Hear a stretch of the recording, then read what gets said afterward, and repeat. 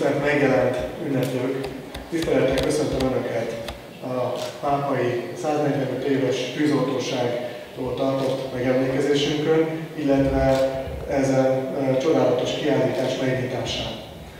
Ha azt a szót halljuk, hogy katasztrófa védelem, mondhatjuk azt talán, hogy lelkori helyén tűzoltóság, bár tudom, hogy nem ugyanazt jelenti természetesen a kettő, akkor, és főleg, hogyha megnézzük ezt az évszámot, 145 éves, akkor úgy gondolnám, hogy maga a tűzoltóság, a tűzvédelem az csak egy, csak idézőjelentőre, csak egy 150 éves fogalom. De valójában éppen azért fontosak az ilyen események, megemlékezések, kiállítások, mert megtudhatjuk azt, hogy maga a tűzoltóság, a katasztrófavédelem az ennél jóval régebbi. Ha végig tekintünk a kiállításon, és egy igazgatóra konzultálva, én ezt ötőleg tudom, hogy a legrégebbi rész a kiállításban az a római korig nyúlik vissza. És hogyha végig tekint a, tekintünk a kiállításon, akkor láthatjuk a, a római utáni időszakot, és tulajdonképpen a Szent és a, az ő kultuszáról láthatjuk a kiállítás anyagát. Maga a tűzvédelem, katasztrófavédelem az legalább 2000 éves múltra tekint vissza. De ha belegondolunk a mi városunkban, akkor sem csak, idézőjelvetően még egyszer csak a csapot, 145 évet gondolunk, gondolhatunk, mint a tűzvédelemnek a korán. Hiszen ha azt a fogalmat használom, hogy közre, akkor azt lehet, hogy máshol az országban nem értik, de mi itt Pápán nagyon is megértjük, hogy ezek azok a közök, talán más néven sikátornak lehet nevezni, azok a sikátorok, amelyek a belvárosunk egymással párhuzamos utcáit köti össze merőleges irányban. És nem tudom, hogy elgondolkodtak-e már önök, vagy éppen talán olvastak-e arról, hogy mik ezeknek a közléknek a történetei. Hogyan kerültek azok oda, miért kerültek oda, ki által kerültek a az oka, hogy ott vannak, nem más, mint a tűzvédelem. És természetesen a tűzvédelem mellett még egy katonai funkciója is volt, hiszen amikor a törökök Magyarország ellen támadtak, és hogy Mohácsnál megsemmisült a középkori magyar állam, és a déli végvárvonal az átszakadt, akkor Magyarországra özönöltek, és megpróbálták az országot elfogadni. Itt Pápán felépült egy végvár, egy városerő. Ez a városerő a mai belvárost fogta közre. Viszont, ha a belvárosnak az utcán rendjét nézzük, akkor azt látjuk, hogy hosszú, egyenes, egymással párhuzamos utcák vannak. És egy ostromnál a legfontosabb az az, amikor a támadók megpróbálják felgyújtani a várost. Azért kellett tapasztalat alapján a a, ezeket a, a, az egymással párhuzamos utcákat átvágni, hogy a lehető leggyorsabban a segítség, a víz, az oltóanyag, az odaérjen az esetleges tűz helyszínére. Tehát ez ugye 16. századi történet, tehát legalább fél évezredre tekintünk vissza a pápai tűzvédelemre gondolva. És hogyha itt a 145 évet nézem, akkor a Pápai Múzeum vezetőjeként is úgy gondolom, hogy büszkén tekinthetünk vissza erre az időszakra, hiszen múzeumunk gyűjteményének, fotógyűjteményének legrégebbi darabja, másolata megtalálható a kiállításban, éppen a pápai, az első pápai tűzoltókat ábrázolja, tehát ez 1871-ből a legrégebbi múzeum gyűjteményében megvan a fotó. Azt százszázalékig nem merem állítani, hogy ez a legrégebbi pápai fotó, mert nyilván azért egy-néhány ennél régebbit lehet találni, de a múzeum gyűjteményében ez a legrégebbi. És most itt engedjék meg, hogy három esetet említsek meg önöknek. És persze tűzoltóság, tűz és katasztrófa védelemnél nem biztos, hogy szerencsés dolog tűzesetekről megemlékezni. De én úgy gondolom, hogy nagyon komoly tanulságként szolgál mind a három eset. Az első egy 16. századi eset, valamikor a 16. század derekán pápa belvárosa leégett. Talán éppen ez jelentette azt a tapasztalatot, hogy ki kell alakítani a közléket. Gyakorlatilag a főtér ásatásánál egy ö, egész területre ö, területen átnyúló és végignyúló koromréteget találtak. Ez volt az első eset. Ebben az eset, ennek az lett valószínűleg a következménye, hogy az első komoly tűzvédelmi rendelkezést meghozták. A második két eset az 20. századi. Az első eset talán pápaiak emlékeznek arra a fotóra, amikor a pápai nagytemplom egyik tornya égett. Abban a szerencsés helyzetben vagyok, hogy van szerencsém ismerni a tűz okozójának az munkáját, és itt kiderült, hogy mi okozta a tüzet.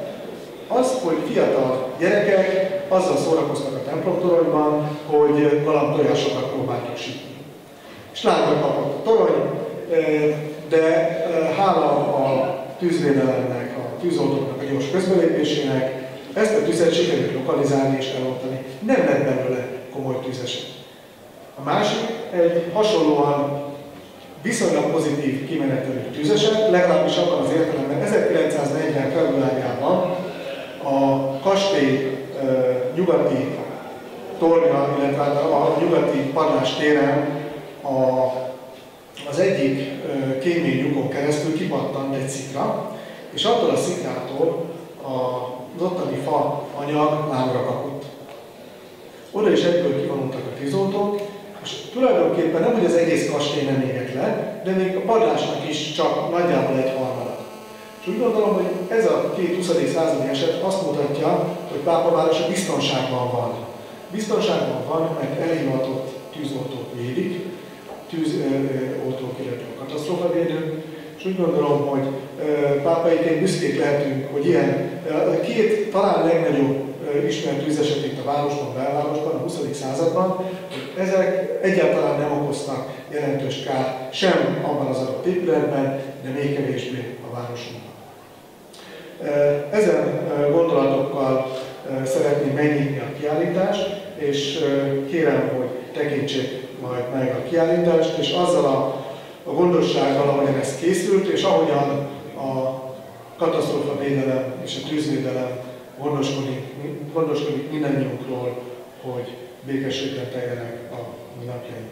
Köszönöm szépen a figyelmet és a szót. Kovács Péter tűzoltó rezzedes jelentkezem.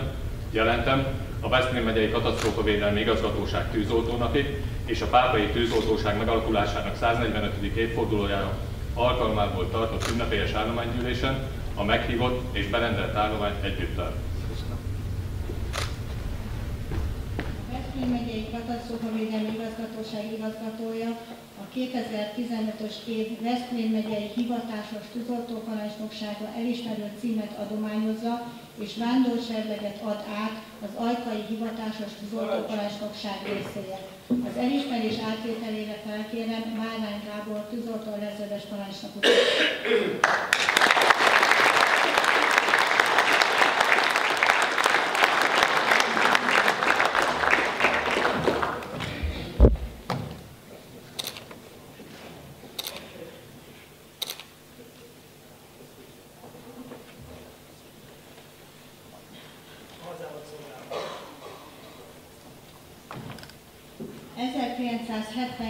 Januárjától a korábban Devecseri kastélyban elhelyezett tűzoltóság ajkára költözött.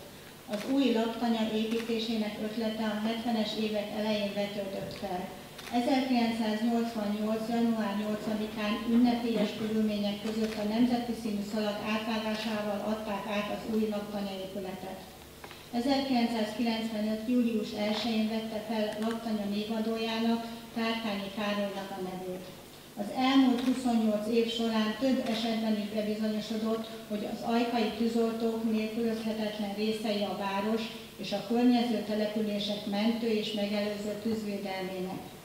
2004-ben kezdődött korszerűtési folyamat részeként 2012-re a tűzoltóság készenléti szerei pályázati lehetőségek kihasználásában új, a kor európai színvonalának megfelelő gépjárművekre cserélték le. Az állomány elsőként vonult hazánk legnagyobb ipari katasztrófája, a 2010. október 4-i vörösiszap katasztrófához.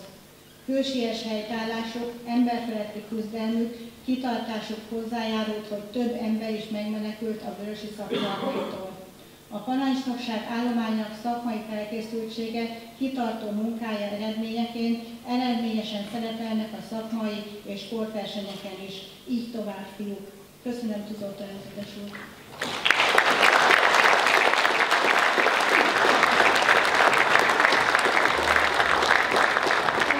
Alkalmából Ajkaváros önkormányzata által adományozásra kerül az év Ajkai tűzoltója cím. Felkérem dr. Horváth József alpolgármester urat az elismerés átadására.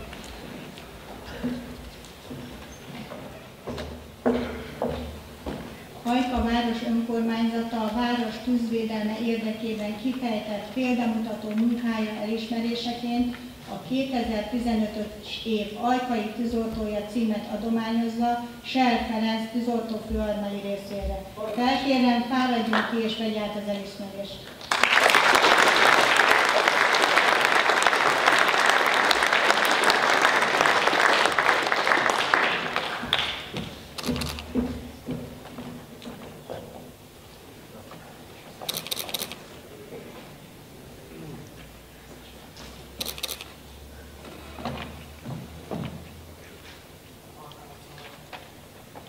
Sel Ferenc tűzoltó főhadnagy 2002. Február, februárjában szerelt fel a tűzoltóságra. A tűzoltó szakma iránti érdeklődésének köszönhetően hamar elsajátította a tűzoltás és műszaki mentés elméleti ismereteit, valamint gyakorlati fogásait, a tűzoltó hagyományokat, melyeket később tovább is örökített. Káresetek folyamán fáradtságot nem ismerve mindig kitartóan, elhivatottan végzi feladatát. A tűzoltó sportversenyeken rendszeresen részt vesz. Hivatástudatának, szolgálmának elismeréseként 2007 áprilisában szolgálatlanság helyettesi kinevezést kapott. A tűzoltási műszaki mentési tevékenység irányítását körültekintően eredményesen végzi, tiszteletet vívott ki magának. 2012. április 1-én szolgálatlanoknak nevezték ki. Munkájára a pontosság, igényesség a. A szervezeti átalakulást követően segítette a változások bevezetését és működtetését a tűzoltóságon. Elsajátított elméleti tudását és gyakorlati tapasztalatait nagy lelkesedéssel fordítja az újoncok kiképzésére, nevelésére, hogy a tűzoltó szakmát és hivatást vonzóvá és követendő példává állítsa eléjük. Köszönöm, főhadnagy úr!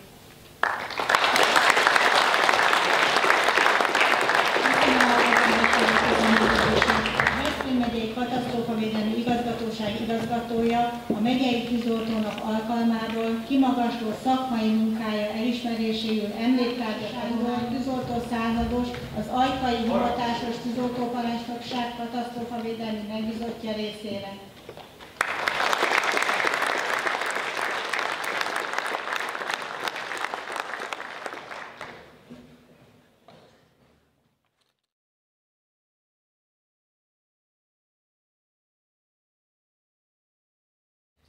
Veszprém megye Tűzoltó Szövetsége Szent Flórián ünnepe alkalmából kimagasló munkája elismeréseként Veszprém megye tűzvédelméért arany, ezüst, bronz fokozatú érmet adományoz.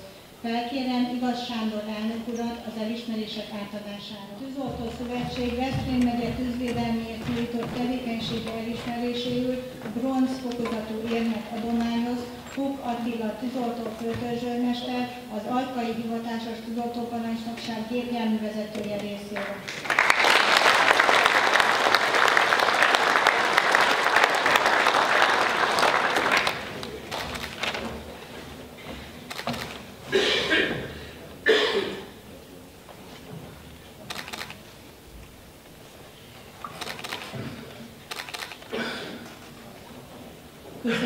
Tűzoltók társadalma nap-nap után bizonyítja embertársainak, a ráj, hogy rájuk mindig számíthatnak a bajban. Gyakran látjuk a médiában záporozó tragikus hírek hátterében, hogy szerényen meghúzódva végzik feladatukat.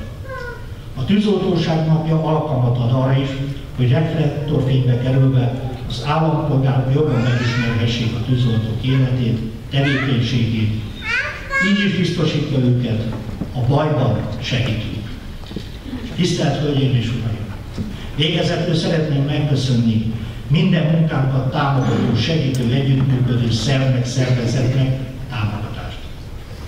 A tűzoltó bartásainak pedig kívánok nyugodt beavatkozástól mentes szolgálatot, tevékenységüket, cselekedeteiket és munkájukat egy régi tűzoltó hitvallás szellemében végezzék, amely így hangzik. Hite az Istené, szíve a hazáé, karja a gyengéké, hűsége a törvényes előjáróké, becsülete az övé. Köszönöm figyelmet. Móra Ferenc, tűzoltó gyerekek imája. Édes jó Istenünk, éjszakát leszállott, szárny alá fogta az egész világot. Alszik a napocska, alszik a szelecske, az eresz alatt ficserélő fecske. Alszik a sarokban paripa is, lemunt a szanait a bodor baba is. Alszik meseország, alszik falu, város. Szállt szét az állam pillangója száldos, falunak, városnak, pihentető álmán, csak apukánk villaszt csendes őrszobáján. Borázdás homlokát tenyerébe hagyja, s gondolatban a mi orcánkat simogatja. Jaj, de hogy ilyad fel, ha harang kondul, hogy a tűzmuskáit látni a toronyból.